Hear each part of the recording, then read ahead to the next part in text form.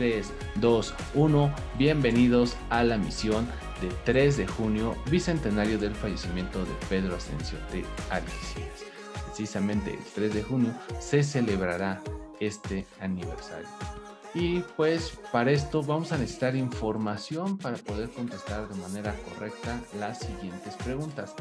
Les quiero presentar a Luis. Luis es un compañero que pues le gusta mucho el tema de la historia y hoy Luis nos va a compartir esta información que nos va a permitir contestar de manera correcta las siguientes preguntas. Adelante Luis. Hola Marco, hola exploradores, Jazz, ¿cómo estás? Te saludo a la distancia y bienvenidos justamente a otra emisión de Nido, bueno, Misión Nido ahora. Yo les voy a platicar de un personaje, así como lo dijo Marco, yo la verdad es que soy bien ñoño, soy entre científico, entre geógrafo, entre historiador, y la verdad es que a mí me encanta todo este rollo, y la verdad es que sí aprende, y de verdad, esto que les voy a contar les va a volar la cabeza. Y por ejemplo, aquí estoy viendo que por ejemplo Ashley tiene así como un, un fondo bien chido, que bueno, saludo a Mariel, saludo a Emiliano. José Israel, hola, hola, Jesús Eduardo, Andrea Ordeoñez, ¿cómo están todos? Los saludo. Y para esto, para ir aprendiendo más del tema y la información que les voy a ir dando, porque ¿qué creen?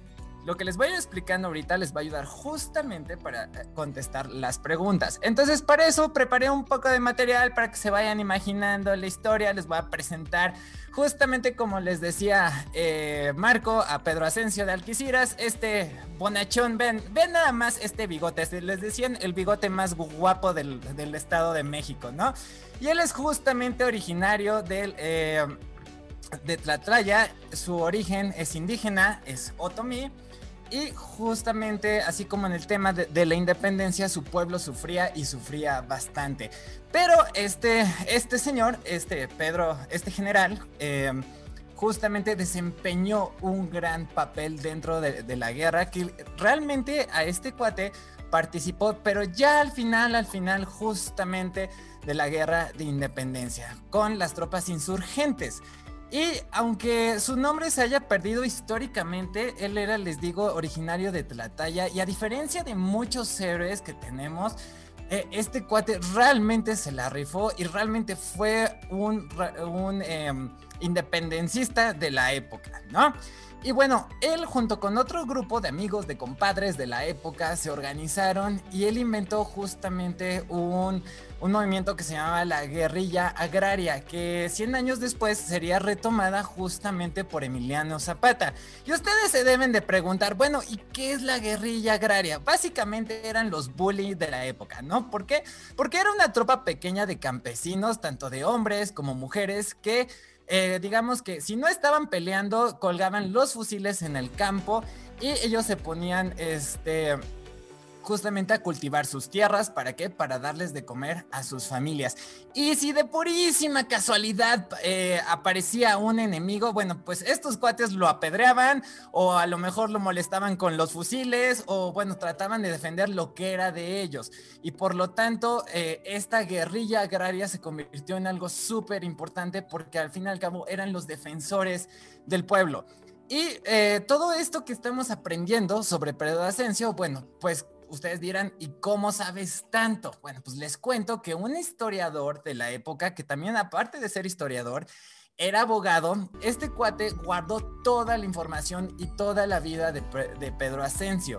Y él nos cuenta que Pedro Asensio era eh, un hombre directo y trabajador y aparte, a diferencia de muchos héroes militares de la época, Pedro Asensio escaló muy, muy rápido en la cima militar. Entonces realmente nos estamos dando cuenta que era alguien súper habilidoso y era alguien que le encantaba justamente la estrategia. Y seguramente aquí debe de haber muchos que igual les, le piensan y sacan lo mejor de, de cada situación, ¿no? Y bueno, él estuvo metido en muchísimas batallas y solamente él entró, imagínense que un año después de que se da la guerra de independencia. O sea, estamos hablando de 1811. Y no eh, pero no empieza a tomar un papel tan fuerte hasta 1817, que es el año en que lo encontramos por primera vez en los textos del momento.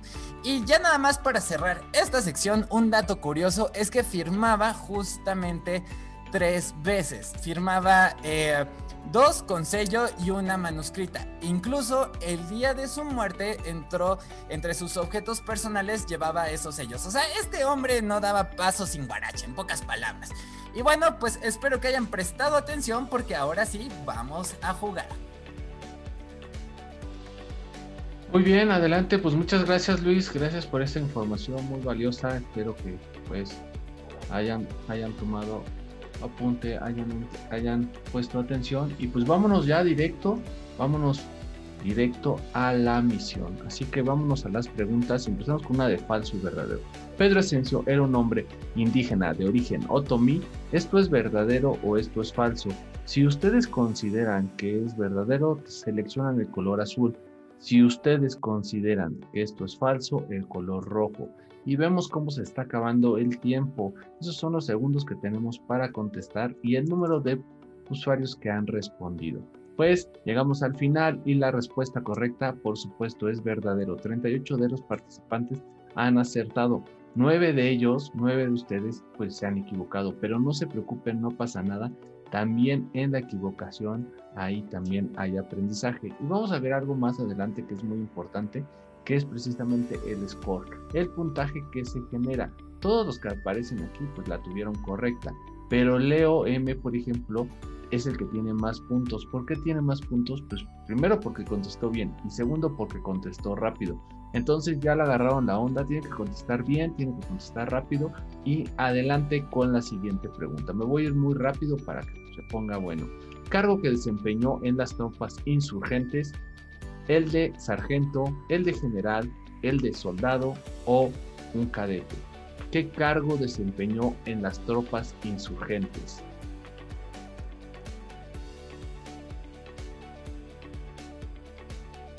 Y la respuesta correcta es el color azul es general. Muy bien, y se mueve la tabla de posiciones. Alguien arrebató el primer lugar. Municipio del Estado de México donde nació Pedro Asensio, en Tlaxlaya, en Texcoco, en Amatepec o en Malinalco. ¿De dónde es originario Pedro Asensio? Lugar de nacimiento es del municipio de... Es del municipio de Tlaxlaya. Respuesta correcta, color rojo. Muy bien, siguiente pregunta. Los insurgentes Hidalgo, Iturbide y Ortiz de Domínguez eran originarios del Bajío. ¿Esto es verdadero o esto es falso?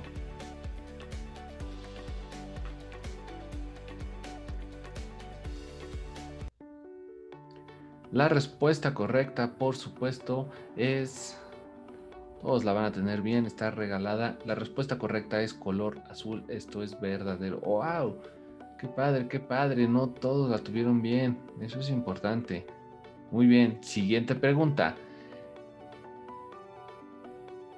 En la guerrilla agraria, los campesinos cultivaban para evitar luchar con el enemigo. ¿Esto es verdadero o esto es falso?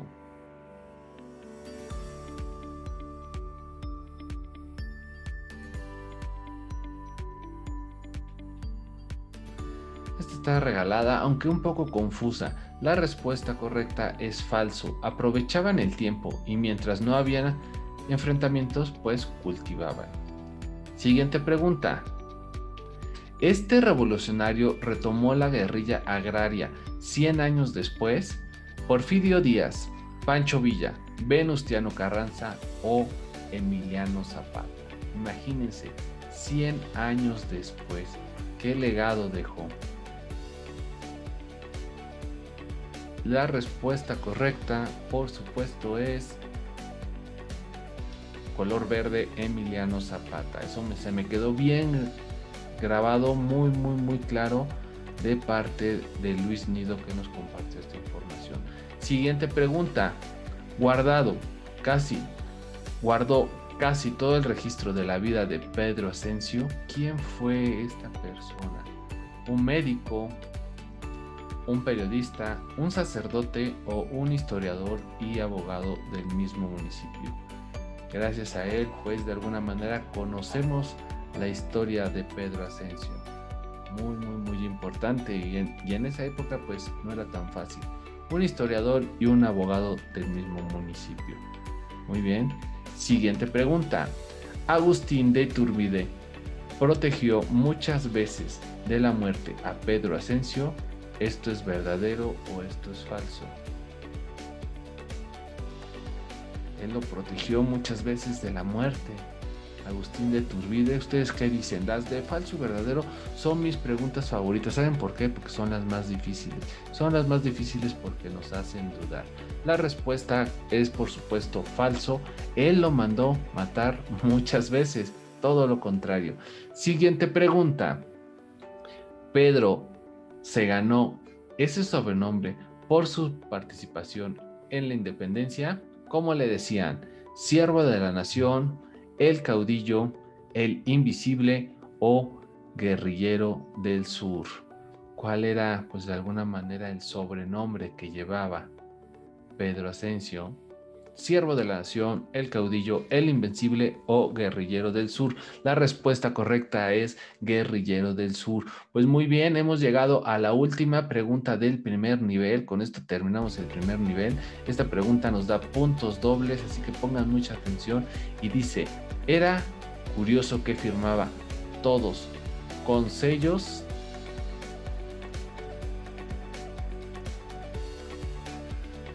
está un poco mal, pero es respuesta verdadera o falso. Era curioso que firmaba todo con sellos. Ahí Luis nos decía la forma en la que firmaba, que era con sellos y la respuesta correcta es falso. Firmaba de tres maneras diferentes, dos con sello y una con manuscrita. Él ponía dos sellos y su firma manuscrita. Muy bien, muy bien, hemos llegado al primer nivel. Vamos al segundo nivel. El segundo y el tercer nivel son mucho más rápidos, mucho más ágiles. Ya nada más nos quedan 10 preguntas. Y pues en este primer nivel vamos a ver el score donde Carlos Antonio está en primer lugar, seguido de Yasmín, Meliana Aguilar, Mariel y Alan. Pues muy bien, esto va a cambiar, se los prometo, se va a poner más bueno y pues necesitamos información. Vamos con Luis, Luis nos va a compartir la información que necesitamos para contestar las preguntas del segundo y también del tercer nivel. Adelante Luis, última cápsula informativa. Perfecto, y así ya llegamos a la mitad justamente de esta misión. Y les voy a seguir contando un poco más. Y bueno, se dice que sus primeras armas se las entregó Vicente Guerrero, lo cual ya nos habla de una conexión y cercanía a los héroes tradicionales de la independencia. Y no nada más eso, en 1820 Guerrero estaba casi liquidado. Andaba por Costa Grande con solo 20 hombres. O sea, ¿se imaginan estar ahí en los catorrazos y literal nada más traer así 20 hombres. Bueno, pues fue entonces cuando Agustín de Iturbide pensó en acabar con los insurgentes y hacer la independencia solo a favor de los españoles. O sea, ahí también ya le estaba ahí jugando al valiente, ¿no? En pocas palabras. Y los realistas le dieron tropas a Iturbide y esto se dirigió al sur para acabar con Guerrero. Pero déjenme decirles que Pedro Asensio lo sorprendió a la mitad del camino y le infringió una seria derrota. Iturbide pensó que si un teniente de guerrero le había dado tan duro golpe, bueno, pues ¿qué podía esperar del, del propio gran caudillo? Por eso, Don Agustín prefirió pactar con Don Vicente y así fue como empezó el proceso que nos llevó a la proclamación de la independencia. Y fue Mm, digamos que en gran parte obra de este humilde guerrillero de Tlatlaya. Fue un héroe que murió sin ver la patria hecha y derecha. O sea, ¿se imaginan estar justamente ahí dándole y dándole y dándole y mócatelas que se nos petatea el chamaco? Bueno, pues ni modo, murió solo meses antes de la conclusión de la guerra. Digamos que es justamente el 3 de junio de 1821. Y la historia de su muerte ocurre en Milpillas, cerca de Cuernavaca. O sea, el calorcito, ¿no? El día anterior, Asensio se dio cuenta de la debilidad en las autoridades de la ciudad y quiso aprovechar para tomar la ciudad, pero terminaron teniendo más control de que él creía, porque lo alcanzaron y mataron por la espalda. O sea, iba bien feliz, contento y pájatelas. Se me lo, me lo mataron por la espalda. Bueno, Y el por qué no se habla más de Asensio en la historia mexicana es un misterio, ya que en textos de época se habla del héroe del sur como alguien con mucha relevancia en la guerra y en la guerrilla independentista, motivo de celebración de, eh, que se, bueno, de hoy, eh, de su natalicio, del 3 de, de, junio de su natalicio. Y hoy en día, uno de los 125 municipios del Estado de México lleva su nombre, que es Almoloya de Alquiciras. La palabra Almoloya significa lugar donde brota el agua además de la antigua iglesia de San Pedro y la hermosa cascada del Salto. Puede apreciarse una estatua del héroe. Así, que vayan a tratar, digo, vayan al, al Moloya de Alquiciras y conozcan este maravilloso lugar. Mucha suerte. Muy bien, Luis, pues adelante, vámonos directo al segundo nivel. Me voy a ir muy rápido y dice, se dice que sus primeras armas se las entregó a ¿a quién? a Miguel Hidalgo, a Vicente Guerrero, a José María Morelos o a Ignacio Allende. Se dice que sus primeras armas se les entregó a... La respuesta correcta es... La respuesta correcta es el color azul y es Vicente Guerrero. Siguiente pregunta. En 1820, Guerrero estaba casi liquidado. Andaba por Costa Grande con tan solo 20 hombres, por lo que Pedro lo ayudó, ¿esto es verdadero o esto es falso? Guerrero estaba casi liquidado, solo tenía 20 hombres y Pedro Asensio lo ayudó. ¿Ustedes qué dicen? ¿Verdadero o falso? La respuesta correcta es verdadero y la mayoría la acertó. Vamos muy bien, haciendo muchos puntos. Siguiente pregunta. Agustín Iturbide pactó con Vicente Guerrero y así fue como empezó el proceso de proclamación.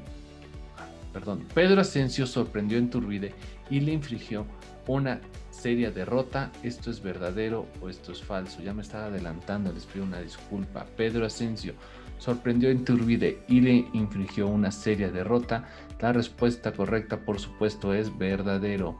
Y ahora sí vamos con la siguiente pregunta. Agustín de Iturbide pactó con Vicente Guerrero y así fue como empezó el proceso de la proclamación de la independencia, la revolución, la elaboración de la constitución o la reforma.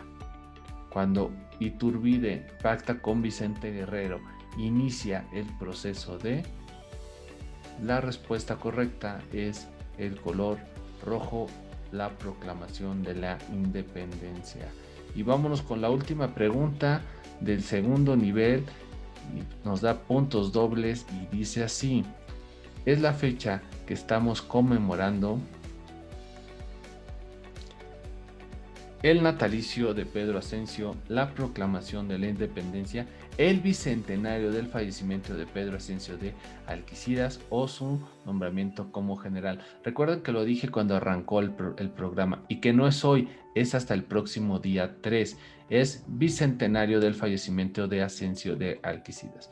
Muy bien, muy bien, eso es muy importante. Esa casi, casi yo les digo que es una de las de los aprendizajes más importantes de este programa que no estamos celebrando su natalicio, sino el bicentenario de fallecimiento de Pedro Asensio de Alquiciras. Eso es muy, muy, muy importante y por ahí creo que Luis un poquito se, pues se trabó o se confundió. No es su nacimiento, es su fallecimiento. Muy bien, así que adelante, vámonos con las últimas preguntas, el último nivel, tercer nivel, y dice así, lugar en donde ocurre su muerte. Milpillas cerca de Cuernavaca, en Morelia, en Valladolid o en Cuautla, en donde ocurre su muerte. Por ahí Luis también nos da la clave de un lugar en donde hacía calor. Milpillas cerca de Cuernavaca. La mayoría la tuvo correcta. Eso se les quedó muy bien. Muy bien, adelante. Siguiente pregunta. El día anterior a su muerte, Asensio notó que las autoridades de Milpillas eran fuertes y huyó. ¿Esto es verdadero o esto es falso? El día anterior a su muerte, Asensio notó que las autoridades de Milpillas eran fuertes y huyó. ¿Ustedes qué dicen? La respuesta es completamente falsa, es todo lo contrario, creo. Él creyó que las autoridades eran débiles y quiso aprovechar para tomar la ciudad. Vamos con la siguiente pregunta. En textos de época se habla del héroe del sur como alguien con mucha relevancia en la guerra. ¿Esto es verdadero o esto es falso? Estamos finalizando la misión, son las últimas preguntas. Así que vamos a echarle ganas a esta última recta. Estamos a tan solo dos preguntas de terminar. La respuesta correcta, por supuesto, es verdadero. La mayoría la tuvo correcta. Este es muy importante, también es un aprendizaje muy importante. Municipio del Estado de México que lleva su nombre. A Colman, a Cambay, Almoloya o Aculco. Un poquito Luis nos platicaba de los atractivos turísticos que tiene este municipio, por qué se llama de esa forma. Y aquí hay algo muy importante. Este municipio no es el único municipio del estado que lleva ese nombre. Es Almoloya y es Almoloya de Alquicitas, que lleva su segundo nombre en honor a este héroe. Porque también hay otro Almoloya. y creo que hay otro. Está Almoloya. Eh, donde está el penal y, debe de haber otro, creo, si no, no recuerdo mal, hay otro. Pero este, este es el que lleva en honor a este nombre, a este héroe su nombre. Y llegamos a la última pregunta. Esto se termina con esta pregunta. Puntos dobles, todavía puede cambiar cosas. Significado de la palabra de Almoloya. Es el cerro de pájaros, es el lugar de en donde brota el agua, es el cerro de los magueyes o es un lugar cercano al lago. ¿Cuál es el significado de Almoloya? Y el significado de Almoloya es lugar donde brota el agua. Me dicen por aquí que está también Almoloya del Río.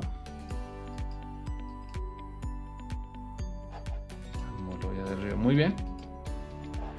Muy bien, pues hemos finalizado la misión, hemos cumplido con todas las preguntas, espero que pues, les haya gustado, que hayan aprendido algo. Vimos mucha información, un poco confusa, la verdad, es mucha, mucha, mucha información, pero a ver, vamos a ver los aprendizajes esperados. Tres cosas que tenemos que haber aprendido y que son por así decirlo, lo más importante de la misión del día. Si esto no lo llevamos, pues hemos cumplido la misión. Luis, por favor, ayúdanos con los aprendizajes esperados. Claro que sí, Marco. Bueno, el primero es que Pedro Asensio fue un gran estratega militar. El segundo es que él eh, peleó junto con los héroes de la independencia y realmente es un personaje relevante dentro de nuestra historia de México. Y tres, es que él también eh, estuvo muy de cerca, bueno, estuvo en diferentes eh, momentos con Agustín de Turbide y justamente Guerrero, que también fueron personajes muy importantes dentro de nuestra historia. Perfecto, perfecto Luis, pues muchísimas gracias. Gracias por eh, darnos esta información hemos concluido la misión. No sin antes me gustaría conocer pues, cómo quedó el podium, cómo quedaron los primeros lugares. Ya, ya lo dijimos, lo vuelvo a repetir, aquí todos somos ganadores, pero pues sin duda alguna hubo participantes que hicieron muchos puntos y está Carlos Antonio con 16 de 20, Alan Joshua con 17 de 20 y con 19 de 20. Eso sí está muy, muy, muy padre y muy complicado. Yasmín Mendoza nada más se equivocó en una Híjole, Yasmin, yo me equivoqué varias veces, eso que tenía acordeón, Luis también, y tú 19 de 20, wow, qué increíble, qué increíble, qué capacidad tienes, muchas felicidades. Alan también, Carlos también y todos los que participaron. Pero de verdad, mis respetos para las personas que ocuparon estos lugares porque qué inteligencia. Rápido y bien. Eso está muy complicado. Pues muchas gracias. Muy, muchas, muchas, muchas gracias. A mí me gustaría abrir los micrófonos para platicar con ustedes si alguien quisiera comentar algo de los primeros lugares o quien guste hacernos un comentario, por favor, levantando la mano, les vamos a dar la palabra. Y pues me gustaría saber este, si les gustó y qué se llevan del programa.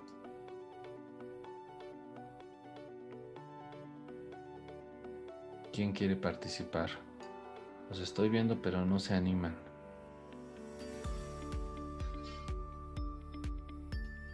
Nadie. En lo personal a mí me gustó mucho, pues porque me llevo aprendizajes nuevos, cosas nuevas que el día de hoy me enseñaron. Qué bueno, qué padre. Y, y la verdad es que es real, ¿no?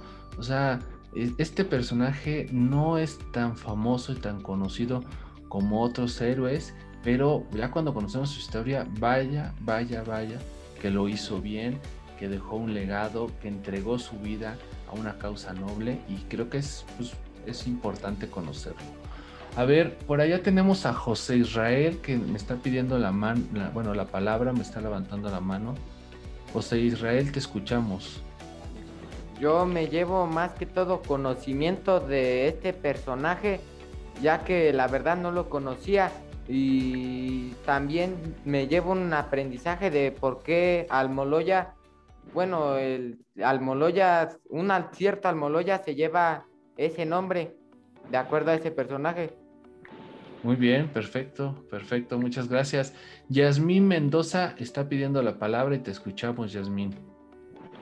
Bueno, buenas tardes. Pues a mí me agradó mucho esta actividad, ya que pues me, me puse muy nerviosa al contestar las respuestas, pero es,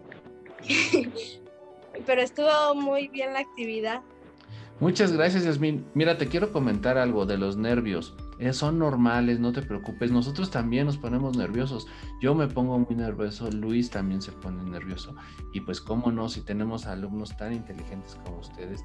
Y pues, de alguna manera, siempre hay algo. Nunca sale perfecto el programa. Les pido una disculpa si hubo, pues, interrupciones o equivocaciones pero pues quiero decirles que pues es de humano, siempre, siempre nos vamos a equivocar y lo más importante es que nos llevemos un aprendizaje.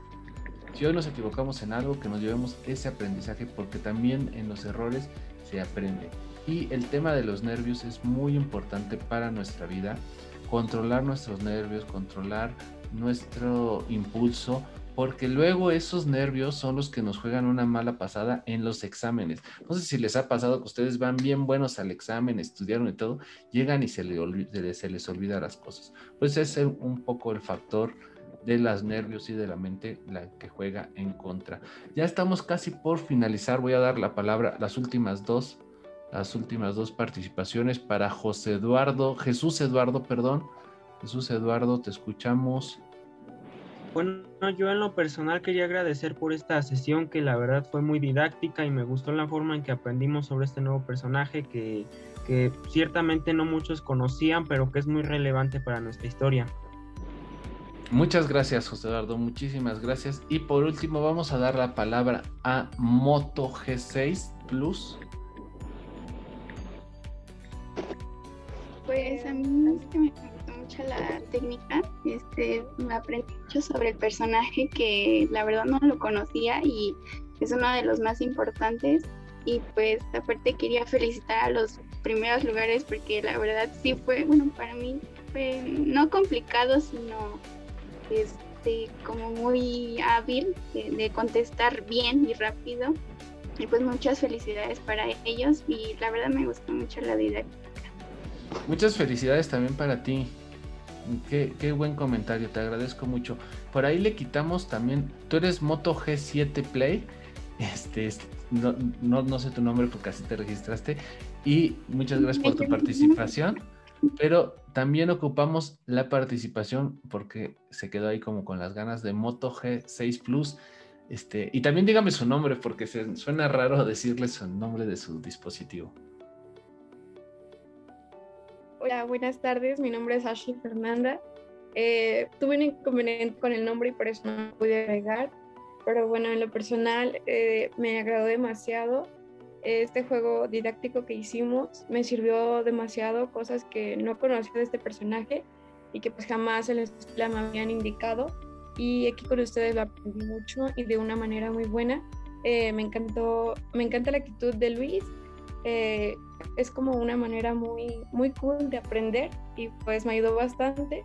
De igual manera felicito a los primeros lugares, lo hice muy bien y pues no solamente a ellos, sino a todos por obtener buenas calificaciones en la escuela y por ello es que fuimos elegidos para este concurso. Muchísimas gracias, qué buen comentario. Les quiero decir algo ya para finalizar. Esto, esto lo hacemos eh, pues con muchos limitantes, ¿no? Nosotros quisiéramos tener muchas cosas más, una sala de Zoom donde quepan más alumnos, hacerlo en vivo, hacerlo en la televisión, o sea, hay muchos sueños que nosotros queremos cumplir. Lo hacemos con lo que tenemos, pero principalmente lo hacemos con mucho cariño, porque para nosotros, ustedes los estudiantes, son lo más importante. Y esto que yo les decía al principio de que ustedes serán los líderes del futuro es una realidad. Muchas personas dicen que ya son los líderes. Yo creo que el futuro es cada vez más incierto, que requiere cada vez perfiles no solamente más estudiados, sino con unas habilidades eh, desarrolladas a la colaboración. Entonces, qué, qué padre, qué padre conocerlos, me da muchísimo gusto, son alumnos muy destacados, muy inteligentes, muy valiosos, felicidades a sus papás, felicidades a sus maestros y muchas gracias por estar con nosotros. Vamos a finalizar el programa y ya para terminar yo les quiero pedir un gran favor. Me gustaría tomarme una foto con ustedes, con todos ustedes. Son, la verdad, esto es lo más bonito que yo me llevo, es el recuerdo más grato y ¿qué onda? ¿Qué dicen? ¿Nos podemos tomar una foto? No hay ningún problema. Va, va, va. No hay problema. La foto va a ser así. Pues no. Vamos a hacer, vamos a hacer todos esta señal. Esta es la señal de la misión. Todos aquí y luego en la frente, a la cuenta de tres fuerte que se escuche. Es más, que salgan los vecinos y digan qué es lo que está pasando, que se escuche hasta la Moloya. A la cuenta de tres vamos a decir misión. No. ¿Sale? ¿Vamos todos? Vamos, vamos, si se puede. Una, dos, No mi tres. cámara. Una, dos, tres. Misión cumplida. Misión cumplida. Cumplida.